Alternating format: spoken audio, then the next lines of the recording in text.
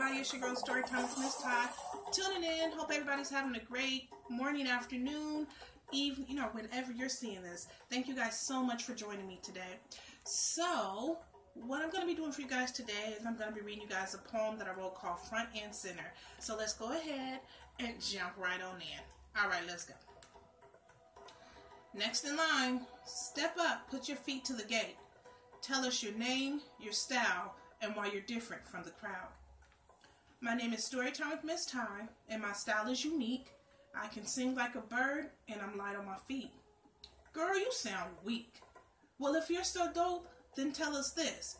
How do you feel about your channel being a hit or miss?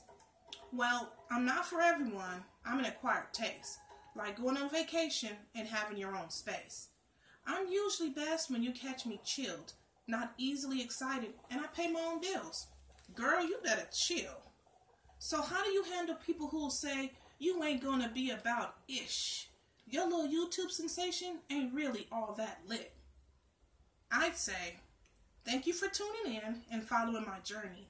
If you stick around long enough, you'll see this is me. I ain't being phony. Okay now, honey. Your channel won't reach X amount of subscribers by daybreak.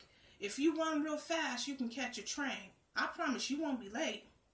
So one last time, tell us who you are and what you've come to do. I am power. I am strength. I am infinite abundance. I am winning. I am grinning and telling my kids that I've done it. I am shining like a star because I know that I'm a winner. And now it's time for me to take my rightful place front and center. All right, guys. Really sharp poem for you guys today called Front and Center. I hope you guys liked it. Um, please remember to like, comment, share, and subscribe. Tell anyone and everyone. Um, and, and make sure to tune back in and put that bell on so you can catch me anytime and every time that I'm on here talking to you guys. There's always another story to be told, but for now,